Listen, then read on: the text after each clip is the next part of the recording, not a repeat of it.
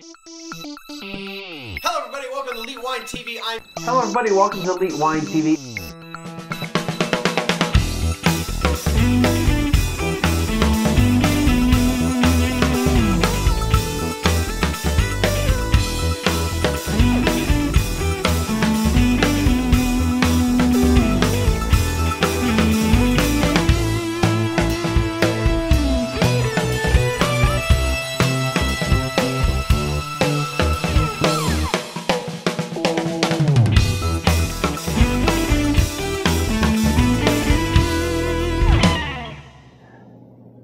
Everybody. Welcome to Elite Wine TV. I'm your host, Mark Fusco, here for another episode of the show.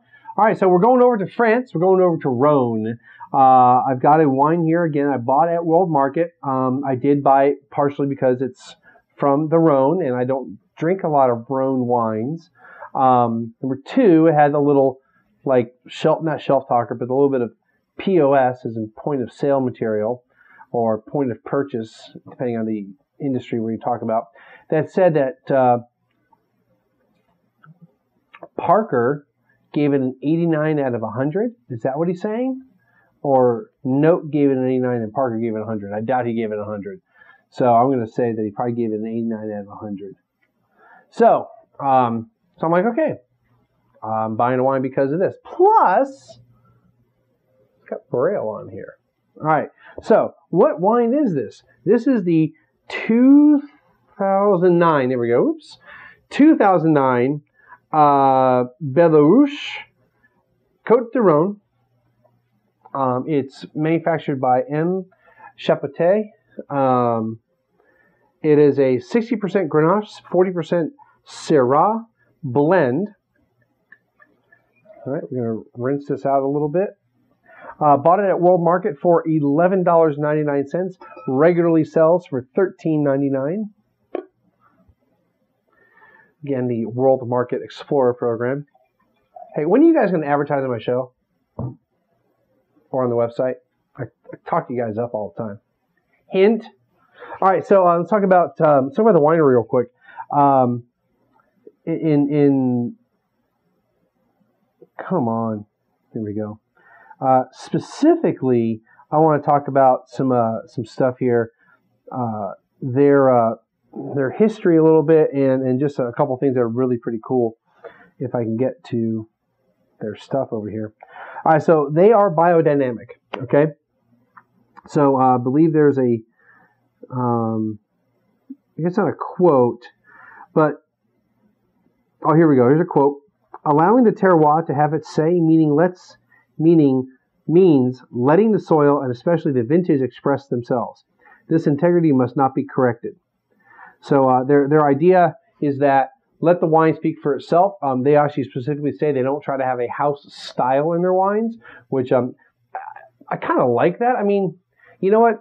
If I'm going to have a Pepsi, it should always taste the same no matter what, right? You that you you expect a brand to to have consistency in its in its taste or in its whatever. Like say we'll say food, food or beverage. Um, in wine, that happens a lot. You kind of have that expectation that the wine should taste pretty much a certain way from year to year, especially your your mass marketed wines. That you don't want variation from vintage to vintage. You want to taste the same all the time wineries like this, they're like, hey, you know what? We want the terroir to express stuff. Now, my thinking is that there's still going to be a, a sense of style or a sense of, you know, the terroir, the sense of place with it. If I get a uh, Chapoutier, Chapoutier um, wine that's 2010, the same thing, the Belleruche, if I get that 2010, there should be at least some similarity between, between the two so I can go, ah, yes, this is that this is that wine, but there's a variation in vintage. At least that, that's my thinking.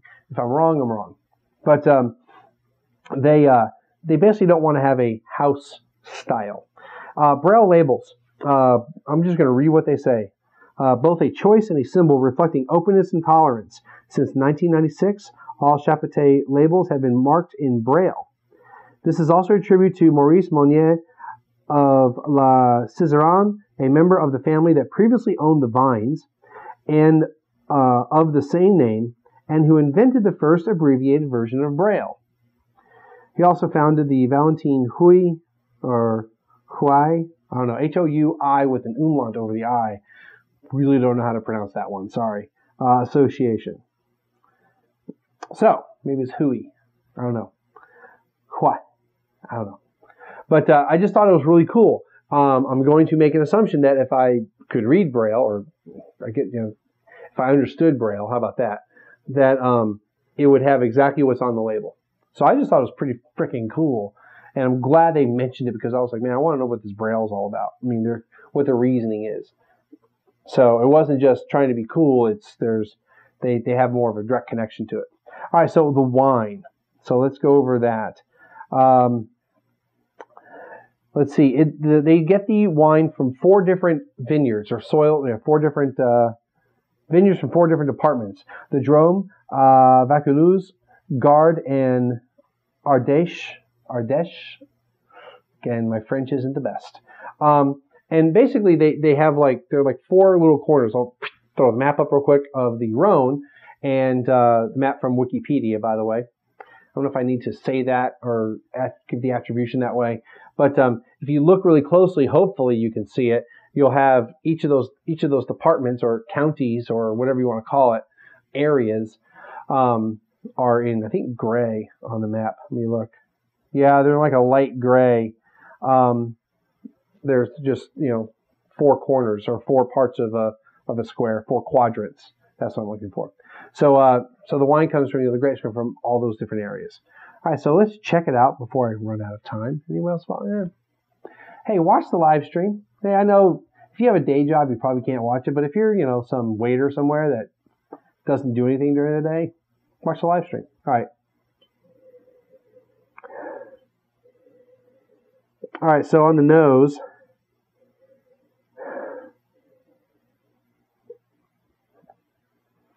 I'm getting red fruits,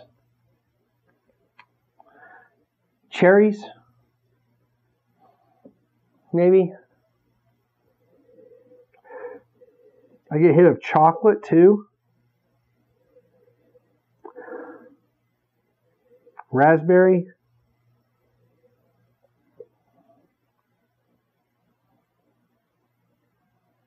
elderberry. No, I made that one up. Because you know, a lot of times it sounds like these guys just make stuff up. You know, if I if I think I smell it or taste it, I, I really do think that. I'm not trying to just pull something out of the air because I think I'm supposed to. Unless I do say that, I may go, well, I don't know if I really taste it because I'm thinking something else. But um, I don't just pull stuff out of my rear end just to sound important. Yeah, raspberry-ish. Okay. Let's taste it.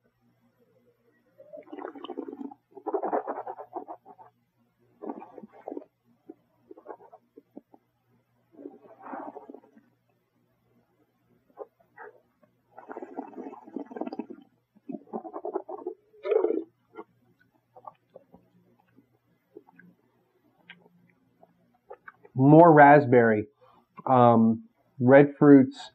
Um, it feels a little bit hot or has high acid. I want to say, I, di- I didn't see what the um, alcohol was, but these are not typically super high in alcohol. 14, okay. Yeah, not super high. I mean, it's not like, but it just feels like there's a little bit of heat to it. Um, moderate tannins or medium, sorry, medium tannins. Um,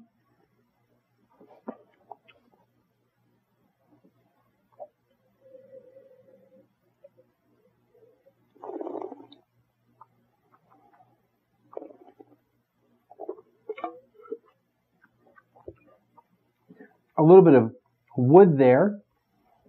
So um, overall, a pretty good wine. I think it's pretty tasty. Definitely needs to be paired with food. It's not a wine that you're going to drink on its own, which I don't think you should. Um, some wines you can get away with drinking on their own. This is one I would want to pair with something. Um, grilled meats, barbecue, you know that type of that type of stuff. Um, I'm looking at the candy over here from the Easter episode since I'm recording all from the same day. A robin's egg. I bet you, not that I've ever had a quail, but made me think of a quail egg? I bet you go a quail. Don't know.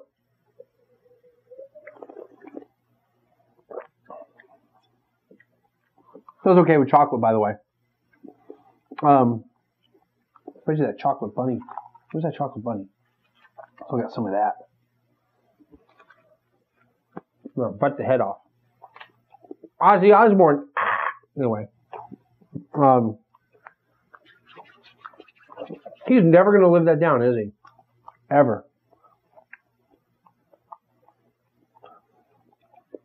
And just like him, that was a prop, obviously, of a chocolate bunny rabbit.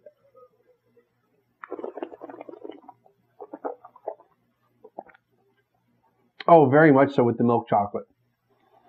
So cheeses, so dairy, stuff with you know good cheeses, so blue cheese or Gouda cheese, cheddars, all that kind of good stuff. Some you know probably some actually probably the, the more the more softer cheese. You know maybe the, the gooey cheese. You know some of that cheese is like kind of runny. Not necessarily a fan of that, but I bet you that would go awesome with that. All right, so I'm in agreement. 89 points. I mean, who am I to argue with some dude named Parker? Right? Anyway, I'm just saying. I'm just saying. Why would I argue with Parker? 89. Um, yeah, I think 89 is a fair a fair score for it. Um, I mean, you could go another point either way, but I, I don't think it's a bad score if you can find to buy it, I think it's definitely worth the money. Um, you know, especially at twelve dollars, I think it's easily worth it.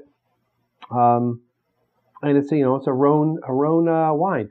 Ooh, these lights! I just noticed they're kind of getting dimmer. They're about to go out. That that light's going to go out any second. I can tell it. So let's go and wrap this up. I'll put the new batteries in for the last wine. Uh, as always, come to the website. Make some comments down below. There'll be a web. There'll be a click. I mean, uh, click. There'll be a link to the website. Hi, how you doing? Another viewer. Hey, we're doing this wine. Yeah. Anyway, um, stop by the website, click the link below for the website, leave a comment, friend me up. Told you that light's going to go out. leave a uh, friend me up upstairs, upstairs, up top there. Hit the donate button um, for PayPal, and we'll see everyone again next time.